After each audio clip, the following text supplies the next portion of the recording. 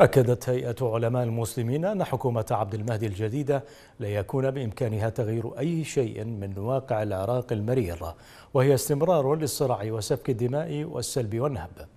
وأضافت الهيئة في ندوة عقدها القسم السياسي فيها أن هذه الحكومة انبثقت عن انتخابات ثبت تزويرها وبطلانها فضلا عن المقاطعة الشعبية الكبيرة لها.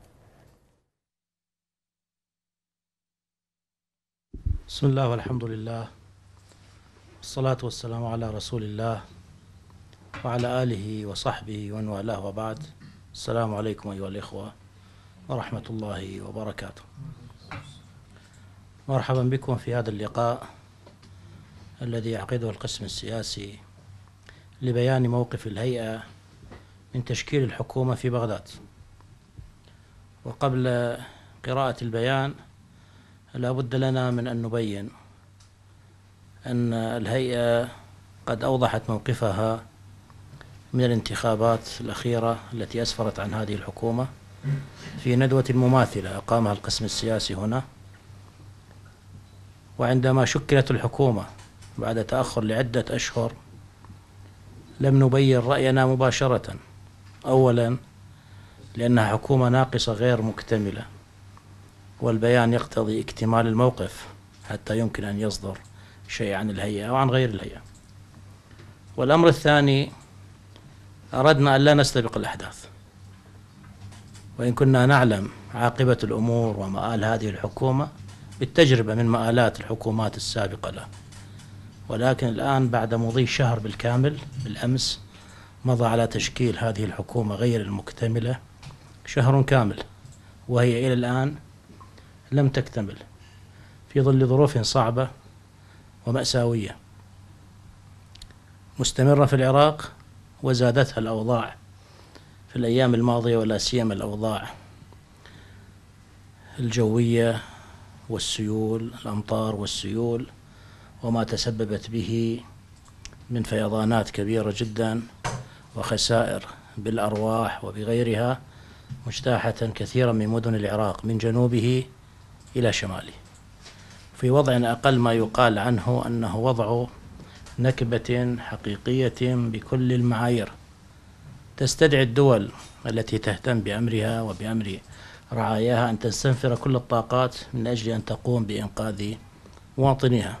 ولكن فيضانات العراق وسيول العراق كأنها لا تشكل شيئا. دول أخرى يسقط عشرة أو خمسة عشر أو عشرين شخص في فيضان أو سيل أو حادثة هنا وهناك فتقوم الدنيا ولا تقعد. والعراق مسلسل وعداد. القتلى يزداد يوم بعد يوم والسيول تجتاح مدينة بعد مدينة. وهذه الحكومة أولا لا حول لها ولا قوة نتيجة الخراب الذي صنعته العملية السياسية في العراق وصنعه من في هذه الحكومة أيضا. والأمر الآخر أنها غير مهتمة. غير معنية.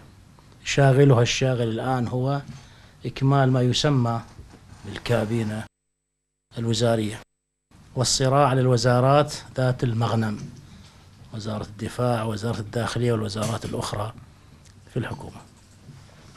إذا بعد شهر من إعلان تشكيل الحكومة وفي ظل الأوضاع والظروف المأساوية التي يعيشها العراقيون جميعا يضحى بيان الموقف واضحا وصريحا وفي وقته المناسب.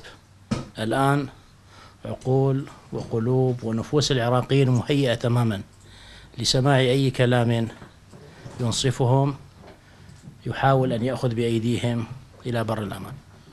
وعليه فقد أصدرت الهيئة بيانا خاصا متعلقا بموقفها من تشكيل الحكومة في بغداد. نتلوه عليكم الآن.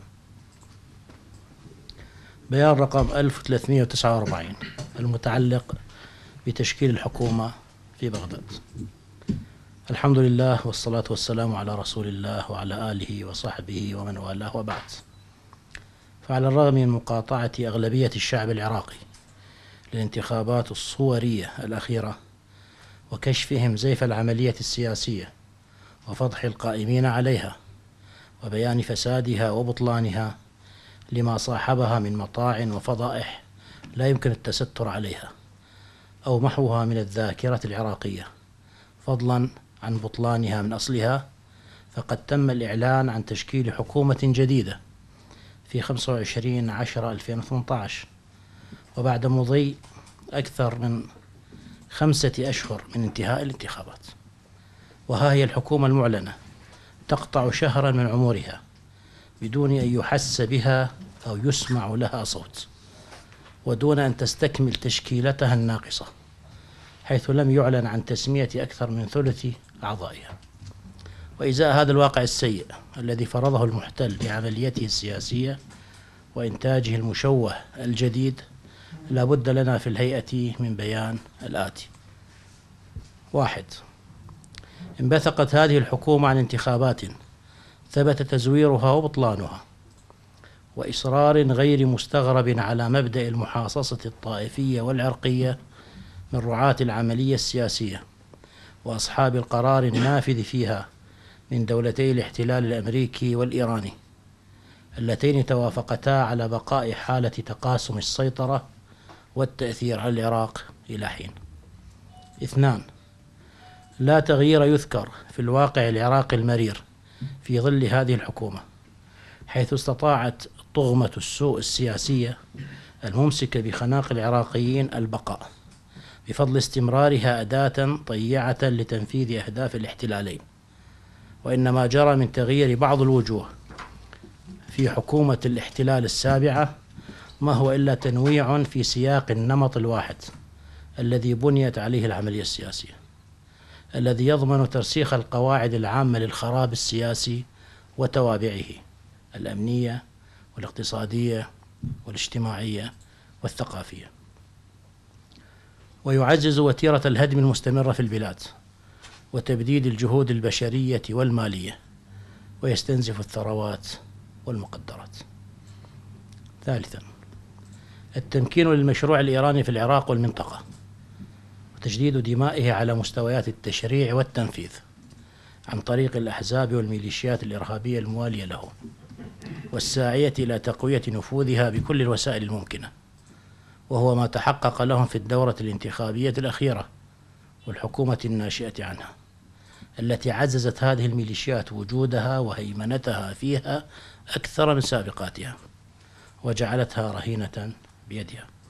ومن هنا نفهم لماذا كان من أوائل أعمال هذه الحكومة مكافأة ميليشيا الحشد والدعوة إلى تحسين ظروفها وتقويتها ودعمها. أربعة. أظهرت مشاورات تشكيل الحكومة والضغوط والمساومات التي رافقتها أنها ستكون النسخة الأضعف من نسخ حكومات الاحتلال المتتابعة وأنها ستكون بحكم تركيبتها المكونة من الكتل الوالغة في الفساد عاجزة عن محاسبة المفسدين. وأن ما ترفعه من شعارات محاربة الفساد والمفسدين ما هي إلا متاجرة رخيصة وسمجة يأنف العراقيون سماعها خمسة كنتيجة المتوقعة لما تقدم. فستسخر ثروات العراق لخدمة من أتى بالحكومة وعمل على تشكيلها بهذه الطريقة البائسة.